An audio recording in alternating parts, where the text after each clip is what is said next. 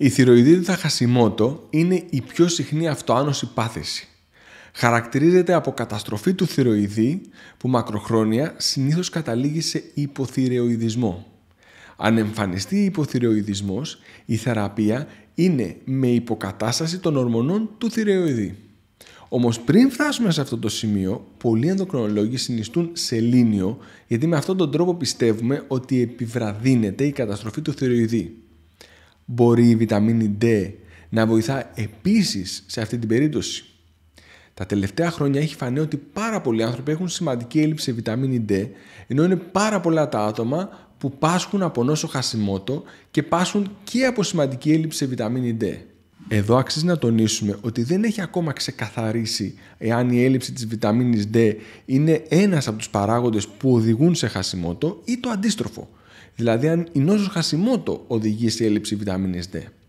Παρόλα αυτά, κάποιοι ερευνητές μελέτησαν αν η χορήγηση βιταμίνης D σε άτομα που πάσχουν από χασιμότο μπορεί να προστατεύσει τον θηρεοειδή μελετώντας τη μείωση των αντισωμάτων κατά του θηροειδή που οδηγούν στην καταστροφή του. Η μελέτη έγινε σε 42 γυναίκες με νόσο χασιμότο που χωρίστηκαν σε δύο ομάδες.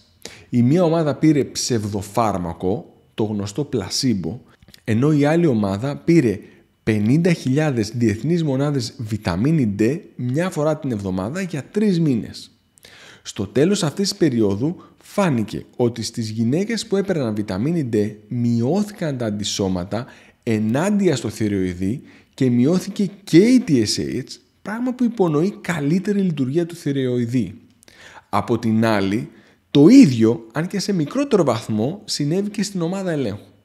Παρ' όλα αυτά οι συγγραφείς συμπέραναν ότι τα συμπληρώματα με βιταμίνη D μπορεί να είναι βοηθητικά στην αντιμετώπιση της νόσου Χασιμότο, αν και συνιστούν περαιτέρω και μεγαλύτερες μελέτες για να επιβεβαιωθούν τα δεδομένα και να μπορεί να, κάτι τέτοιο να ξεκινήσει να εφαρμόζεται ευρέως.